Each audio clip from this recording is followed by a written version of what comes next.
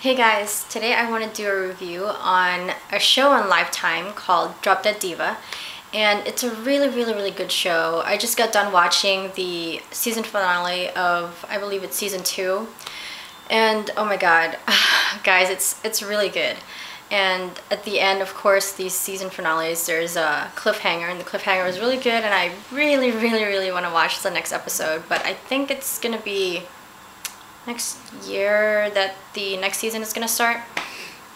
But yeah, this story actually begins with a model, an aspiring model, and her name is Deb. And she dies in a car crash. And um, when she reaches heaven, she is actually uh, judged as being um, really shallow. She hasn't helped anybody. She hasn't done any good deeds at all. Uh, so she decides that she wants to go back to Earth into her old body. And what ended up happening is that she gets to go back to Earth, but in another body, in a body of a serious, um, overweight lawyer named Jane. So she, of course, at first she's horrified because she's a shallow um, person and she only cares about her looks and stuff like that. But then throughout the show, she discovers inner beauty that it doesn't have to be like your looks that make you beautiful. It can be your your personality, anything. And throughout the show, she discovers Jane's past and stuff like that. You know, like there's some episodes where people from Jane's past come back. Um, and she doesn't know who they are, of course, because she's not Jane, she's Deb in Jane's body. So it's a really interesting show, and the cases that they have, because um, she's a lawyer now, and now she's super smart instead of uh, the idiot that she was before she became Jane. And um, she's also discovering more things about herself.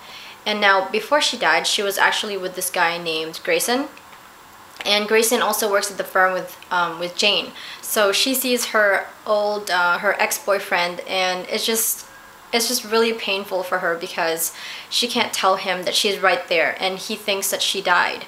So it's really sad, and um, it's it's kind of like a drama show and there's comedy in there too so it's a really fun show to watch. It's really interesting and I really recommend you guys see it and it's on Lifetime. Just ended but there might be some episodes in Hulu or something like that.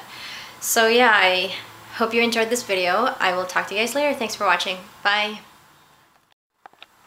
Hey guys. So she petitions to go back. So she decided that she wanted to go back to her God, why can't I say it?